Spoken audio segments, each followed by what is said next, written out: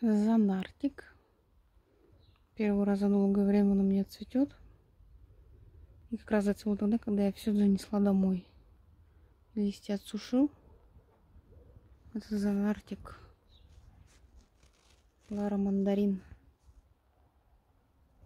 Вот. Растет он у меня кракозяброй, потому что как раз я его пыталась укоренить. Мне не получалось. И вот видите, вот такая кракозябра растет. Я его уже не стала трогать, думаю, «Э, не зацветешь в этом году, да и ладно. Думаю, что хочешь, то и делай.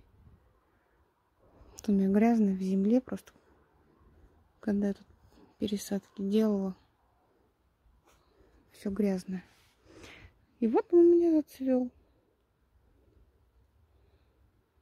Цвет у него такой розоватый. Посмотрим, что с ним мне дальше делать, потому что он такой, ну, относительно привередливый для меня, потому что если остальные занартики у меня все процвели, этот единственный, кто у меня начал выпендриваться.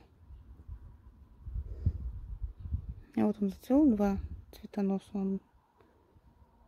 Видите, вот первый, второй выпустил.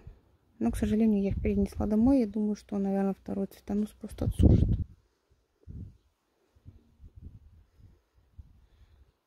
Такой вот паразит вредный.